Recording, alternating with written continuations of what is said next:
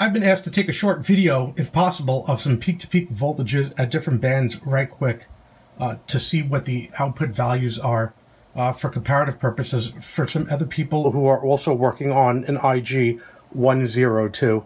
I had no problem doing that. And I'll tell you the parameters right quick.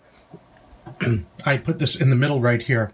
I shut off external modulation only because I'm measuring the RF and it makes it a lot easier to take a peak-to-peak -peak value with without uh, modulating an AF um, sine wave onto it.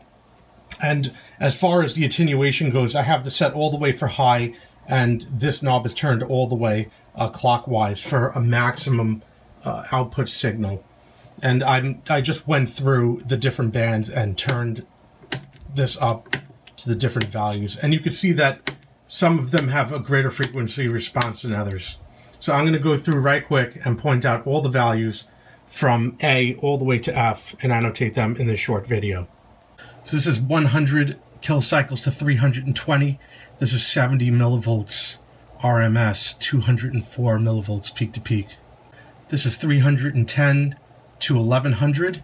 We're looking at 58 millivolts or 174 millivolts peak to peak. Here's 1 to 3.2 megacycles. We're looking at about 100 millivolts RMS or uh, about 290 to 300 millivolts peak to peak. Here's 3.1 to 11 megacycles. Look at 78 millivolts RMS to 230 millivolts peak to peak. Here we have band E, 10 megacycles to 32 megacycles, and we are seeing 64 millivolts, 192 millivolts peak to peak. Here is band F, and we're looking at 34 millivolts or 110 to 112 millivolts peak to peak. This concludes the frequency response exercise for the IG-102. Thanks for watching.